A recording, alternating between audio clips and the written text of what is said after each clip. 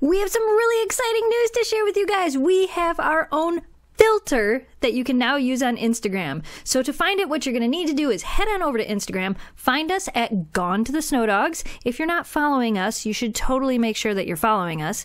Click on the little smiley face that you see right here on our page. Click on the filter, click try it, and give it a try. I'm sure you have always wanted to know which one of our dogs you are, and now you can. If you end up using this filter, tag us so we can see which one of the dogs you ended up being. This is just something fun that we created. Let us know what you would like to see us do next with these types of filters. All right, you guys, thanks for watching.